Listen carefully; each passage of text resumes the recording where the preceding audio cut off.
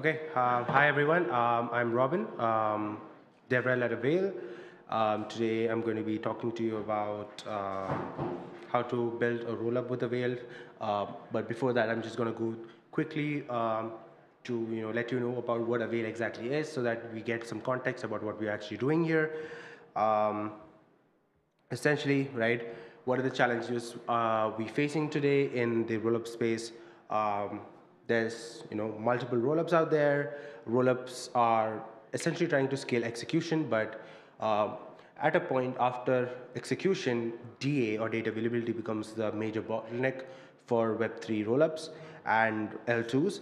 Um, and because you need block space, which is not, which is quite expensive on Ethereum, even with blobs right now, uh, uh, post EIP 4844, um, we need excess block space in order to cater to this uh, rollup centric roadmap that Ethereum has. So um, rollups need DA to scale. Um, there's a UX fragmentation with the number of rollups that's popping out every day, and we need a, framework for unifying all of these uh, different rollups, right? So um, so like I said, Ethereum rollups have like taken the uh, center stage. Like how many rollups are you using every single day uh, on a monthly basis, or maybe on a weekly basis, or on a yearly basis, right? It's at least I could say at least more than three, maybe, or maybe four or five, and this is going to keep on growing. Um, I mean, in the next couple of years, in the next couple of months, and Avail DA is uh, this ZK or validity proof uh, driven DA layer that is um, verifiable and secure and allows you to spin up cheap, reliable, and secure rollups um, for your use case. Um, and with you know the number of rollups that's being uh, coming up, there's going to be fragmentation, and that's why we have Avail Nexus that's trying to unify these rollups through proof aggregation um, and asynchronous composability among these different rollups. And uh, by bringing together ecosystems of, di of different chains together, we want to also uh, you know be be sure to bootstrap enough crypto economic security, not only cryptographic security on our network, um, because obviously if we are we are connecting through Nexus uh, cryptographically all these ecosystems together, but well, the problem is there is also a cryptographic thing that we need to be uh, thinking about, and that means uh, Avail Fusion kind of allows you uh, to provide that additive cryptoeconomic security, which I'll go into soon, right? So essentially, like the permissionless unification layer for Web3, Avail DA, Avail Nexus, and Avail Fusion. Um, so what is Avail DA exactly? It is the, you know, a validity proof based DA layer for the next generation trust minimized uh, applications. So you can basically spin up a rollup on Avail uh, using Avail DA, right? And um, I don't know how many of you know what DA exactly means, but to just give you a quick brief on that, right? Uh, on a monolithic chain, for example, right? For example, Ethereum, if you just take Ethereum as it is, it does the execution, it does the consensus and ordering and data availability um, uh, of, of that chain itself, right? So you get a bunch of transactions, right? And you execute it, right? Uh, and how do you execute this, right? You execute this with this data that is there. So um, if anyone wants to verify if the execution was done correctly, you need that data. And this is what data availability means. So on a monolithic chain, this is a given because every full node who is executing these transactions and every validator who is verifying these transactions will have to anyway run a full node. And hence data availability was not much of a conversation before. But as we move to this roll-up centric roadmap, as we start moving into this modular uh, ecosystem that we have, uh, where we're decoupling execution, right? uh, basically, rollups are basically decoupling execution from the main chain because you have different kind of VMs like ZK VM, ZK EVM. You can have an uh, EVM or a Solana VM or a move-based VM, whatever you want, right? And you, when you're offloading, uh, you're decoupling execution here, you can also in the same way decouple um, data availability from the main Ethereum chain so that uh, you can, one, uh, make it more verifiable and secure. You can use uh, light, uh, light client-based uh, sampling as well as easy verifiability and also it's cheap, right? Um, so Avail is this uh, modular base layer provides raw block space for chains. Uh, it has a robust validator layer set. Uh, uh, and basically the main thing that you want to uh, understand is here that just imagine Avail DA or Avail as a, a place for you to publish transactions without interpreting it. So Avail does not interpret the transactions that you or the data that you put into Avail. You can put any raw data. It does not matter what it is. Uh, Avail does not uh, you know, interpret it in any way. You can, your application can interpret it however it wants to, based on your application's logic, and that is the magic of it, right? Um, so that that means Avail is compatible with all different, all of the, uh, you know, uh, VMs out there. Like it, it is uh, agnostic. It is chain agnostic. It's ecosystem agnostic. It is neutral. It's incredibly neutral. Um, and yeah, so Avail Clients is it's another superpower that we have. Uh, basically, it leverages the KZG polynomial commitments in the block headers to do um, data availability sampling, which basically means light clients uh, on a, like for example, in Ethereum or in the general context, light clients just pull headers, block headers from the full node, but it is not able to verify if the transactions itself or the block itself is valid, right? It trusts the full node there, right? And the difference here in Avail is the light clients don't have to trust the full node because they themselves can verify using this uh, technique called as data availability sampling, which I'm not going to go deeper into at this point. But uh, definitely, if you want to, you can reach out to me later, and I can uh, let, uh, like go a bit more deeper into that. But essentially, it does this thing called as data availability sampling, which uh, allows you to trustlessly, like your light client can uh, trustlessly verify that this block is valid and uh, and uh, without you know even downloading the entire block, hence making it light. Um, so it's based on the substrate uh, architecture, um, and yeah, we have a P2P light client network. That means uh, each light client communicates with each other, and we are also we are also able to reconstruct the state of the block uh, because of the P2P light client network. Um, I'm not going to go more into this. Um, then we have Avail Nexus. So Avail Nexus is this unification uh, uh, or coordination hub that we have for different rollups. So like imagine we have thousands of rollups that's coming up. Like, like just look at this image that you see here on my right, and uh, you see that for all of these chains that are in this ecosystem, if we want to connect or communicate with each of them, you still you need to have a bridge. Like each line over here is basically a bridge, right? Uh, and this is just for like what seven chains. Imagine there's like hundreds of chains. You need to have a one is to n connection to uh, from your chain to another chain to be able to communicate with them, and that is a problem. So what does Nexus allow you to do? It basically gives you this uh, one unifying coordination layer uh, using proof aggregation to kind of coordinate among these different layers and uh, verify the execution of the state transition function proofs of these uh, different layers uh, of these different chains um, which you can use for basically uh, enabling asynchronous composability and uh, stuff like that. Um, yeah, so mostly for the hackathon perspective, um, for you, like Avail DA would be uh, what you would be uh, using. Avail Nexus is still uh, in product, like it's still being uh, developed and would, we're targeting like maybe 2024 or late 2025 as well.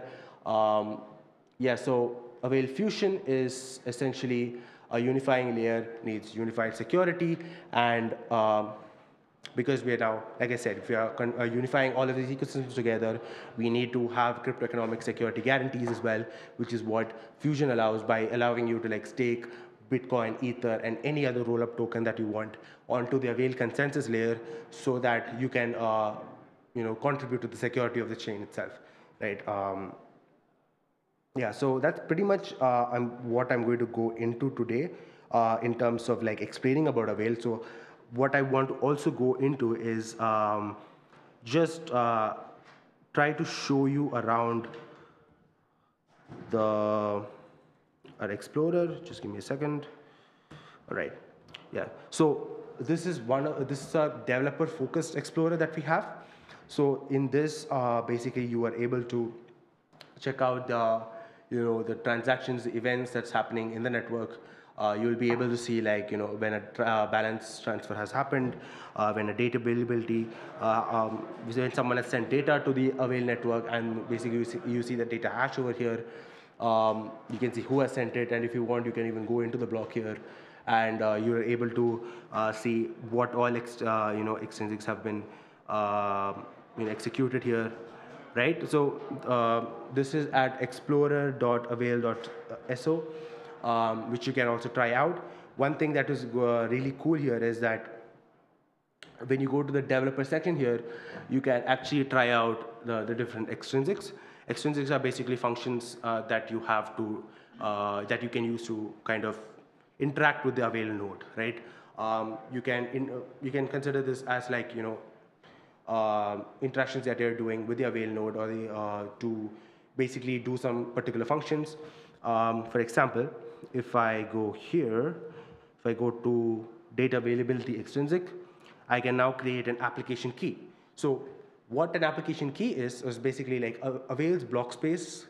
Uh, like when you're sending a data, you can create your own app ID for your address, right? And what, what that does is essentially you can send data to that particular app ID, app ID, just saying that, okay, for this particular app ID, I'm sending XYZ data.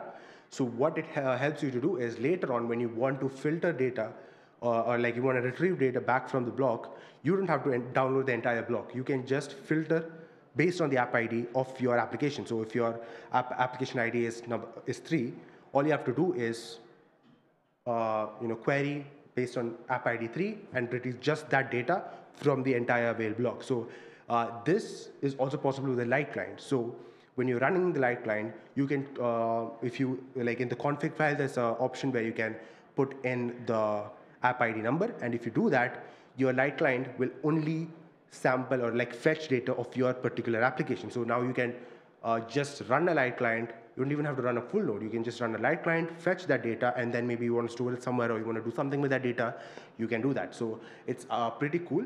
Um, now, for example, I can also uh, submit data, right? Uh, so this is, uh, so you can do this programmatically like with Avail.js, I'll show you how to do that. So, but this is just from the UI perspective. So if I want to send the data ABCD, um, I can send that like uh, submit transaction.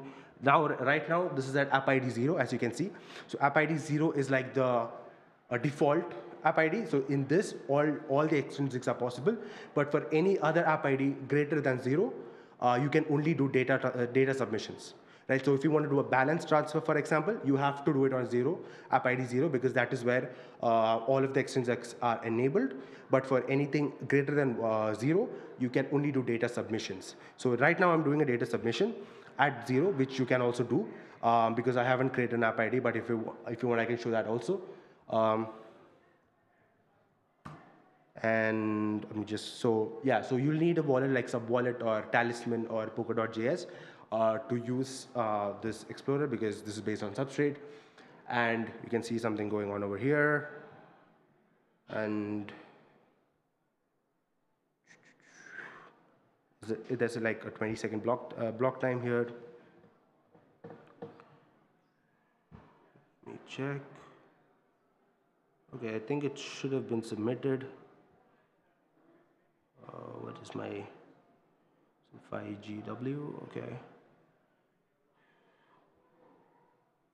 it should be somewhere here. Yeah, so this is, this is the data I submitted here. And uh, you can kind of check it against here. And yeah, so the data I've submitted is this, right? And you can find it over here and you can basically decode it if you go over here, right? So you can basically use this Explorer to kind of do your developer operations here. But if you want a more user-friendly one, which is much more friendly, like just so that you can maybe just put in a transaction hash and see what's happening. You can use our Subscan uh, Explorer, um, which is probably here. So this is at avail-turing.subscan.io. So this is our secondary uh, block explorer. It's taking some time to load. Um, but yeah, basically this is uh, the more user-friendly version, but it's not very developer-friendly. Like you can't like put in the extrinsics and you know test stuff out. That is for the other explorer that I just showed you. But over here, like you can just put in the uh, transaction hash. You can look at the extrinsics here. Uh, you can look at all of this data here. Like you know, all of that is cool. Um, but now what I wanted to show is, um, apart from all of this, there's uh, the how do you program this, right? How do you interact with the Avail network directly with like JavaScript, for example. So we have support for JavaScript, Rust, and Go. So um, for example, the, the one which I did now, submit data, I submitted some data right now. Um, how does that look like in code? Would be uh, here. So like if you go to our GitHub at avail project slash avail, uh, you will go to avail.js, examples, node examples, source, and you see data submission. So what does this even look like? Um, yeah, so essentially what you're doing here is You're initializing the JS SDK, uh, you are picking some stuff from the config, but essentially what you're doing here is you're initializing the API um, and you are getting the account details, so you're getting the keyring um, and the app ID, right? So like I uh, spoke about the app ID right here, so you can program it to be like whatever app ID you want it to be, um, but essentially over here, it's asking if the in the config the app ID if it's zero, just keep it at zero, or else uh, you know use whatever app ID you've configured, right? So basically, you need to have an app ID, the nonce, all of that set up. The what is the data that you're going to send, and what how, what you're going to do here is now you're going to use the API. You're going to call the transaction. Uh, uh, and then you're to call the data availability extrinsic. So in the UI, how it looked was, uh, let me pull up that UI. I don't really know where it is. Wait. Uh, yeah. So in this UI, when I went to extrinsics, I called uh, data availability here and submit dot submit data. So this is data availability submit data, and on code, like in JS, how it would look like is data api.tx.data availability.submit data, and then you're inputting the data in. Then you're signing and sending it with the account details, the options, which would be like the app ID, the nonce, all of that, and then you're getting a result back and you do whatever you want to do with the result. There's some example for uh, transaction handling and all of that. But essentially, this is what you're doing, right? And then this is how you can also uh, get back whatever data you, that you've sent. Basically, you go to the block, uh, you uh, check, you go through the extrinsics that's there, and uh, you find the transaction and get, uh, retrieve the data. So yeah, so this is how it would work on a JavaScript perspective uh, for you. And there's multiple different uh, examples. Like if you want to do a, just a balance transfer, for example, uh, there's an example for that, right? So you can just go through this uh, repo and uh, you know let me know if you have any doubts. Um, and now for the hackathon, like right, so what do you need to do? So, so we have got multiple bounties here. Um, let me check. Yeah, I think we've got multiple bounties to, yeah, all right. Yeah, so in terms of bounties, what we have is one, best use of Polygon CDK, Arbitrum Orbit, or Stackr SDK with avail.da. So um, this is, these are basically just frameworks where you can spin up a rollup. So you don't have to basically interact with the Avail directly. You just have to spin up a rollup already. So Polygon and Arbitrum already have their own tracks for CDK and or Orbit. Now we already have an integration with them, and you just have to spin up our version of it. Um, and you'll still be, you'll be eligible for their prizes and our prizes as well which is pretty cool. Um, and you can build any use case that you want. Um, Stackr SDK is if you want to build like custom application specific chains that is uh, like maybe like short term micro rollups maybe like if it is like for example a game right if it is a game maybe you want the game to maybe live only for the duration of the game maybe that rollup should only live for the duration of the game and then after the game ends maybe the rollup can be discarded away if that is the case that you want to do Stackr could be something that you can look into because it is easy to spin up and easy to discard. It is like an ephemeral, uh, ephemeral rollup, basically. Um, so maybe look into that if you want. I can help you get uh, connected with the team. There are some team Stackr members here who are also like uh, they're, good partners with Avail, and uh, they also use avail.da underneath. So all of these things use avail.da underneath um, as well. And then also now, if you have any use case that has uh, maybe not spinning up a rollup, but you want to publish some data to Avail, like I just showed you, like submit data to Avail, and you want to retrieve it and do something with that. Uh, you can uh, you can be eligible for the build with Avail uh, track, um, and yeah, you can do what uh, you know specific application you want to build with it. Also, if you are more of a smart contract developer, right, you don't really want to spin up a rollup or you want you don't want to interact with Avail much, but you want to build some Solidity smart contract, for example, we've already deployed an op stack testnet rollup for you, where you can just deploy your Solidity smart contract, and, your, and so you can just deploy your dApp on that and be eligible for some prices there. Um, and then another one is like best core tooling project. So like if you have any ideas on how to improve the Avails toolings.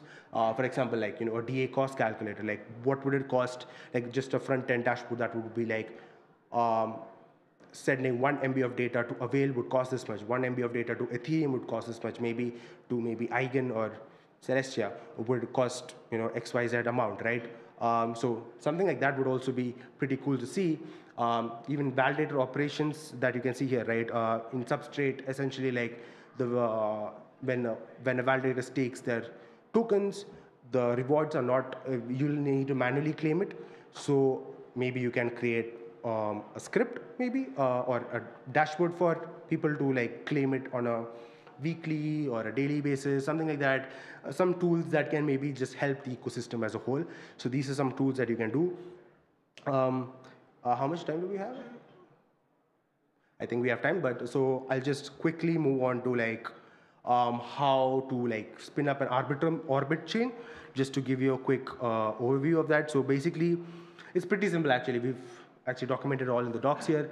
Um, basically, you will need a Docker, and with the Docker, you just uh, just pull uh, pull the node and the uh, you know the the requirement prerequisites from here. You kind of change the env. So what you'll need to do is once you've downloaded uh, the requirements here and built, um, you can you have to modify the env file. So what that would look like is um, so on the env file you need to basically uh, yeah. So on the env file, okay, this is not zooming. Yeah, okay. So on the uh, env file, you need to mention the rollup creator address, which is already mentioned on the doc here.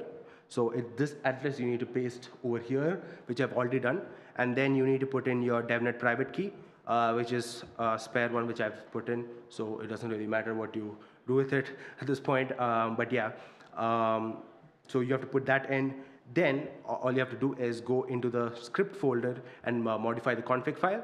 So what that would look like is um, if you go to config.ts here, um, we've got a config file and you just have to basically um, so based on your machine, so if you have an AMD machine, AMD 64 architecture machine, you need to put the WASM module root as this. And if it is an ARM architecture machine, you have to put this and just put in this config essentially. And it would look basically as this.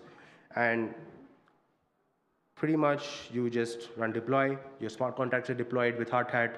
Uh, you'll get an output similar to this, right? Um, this probably will take some time, which is why I'm not running it uh, live with you right now. It will probably take maybe five minutes, uh, 10 minutes sometimes to just compile and run because it's being deployed on uh, Arb Sepolia and depends on the network conditions over there. So I don't want to you know, risk wasting time on it.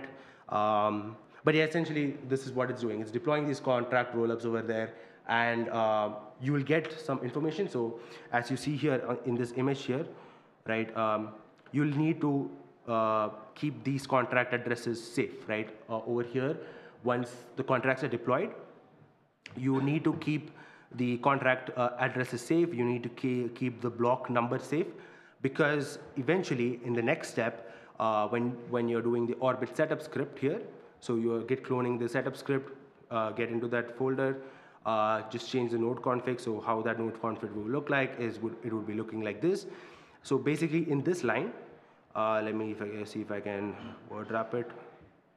Okay, yeah. So basically in uh, this part, what you need to change is you need to change your chain ID based on the config that you had initially put in. So like uh, when you had initially put in, yeah, somewhere over here you, you must have put in your chain ID, right? So you need to configure it based on that. You need to change that. You need to also add in some of the other important information that is defined.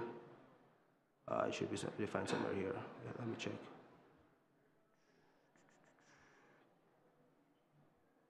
Uh, no, not this.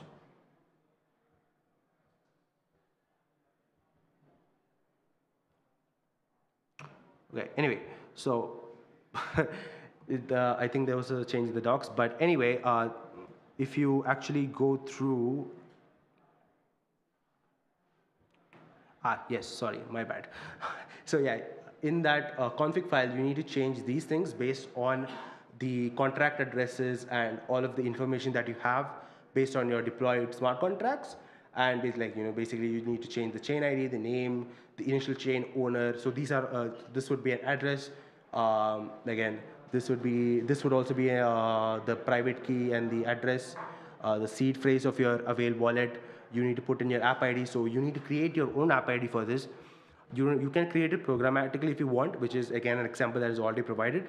Or uh, you can also, uh, yeah, or you can also go to a website like this that we have created. So all you have to do is uh, sign in with your wallet, uh, and you can just uh, click any wallet, give some name for your.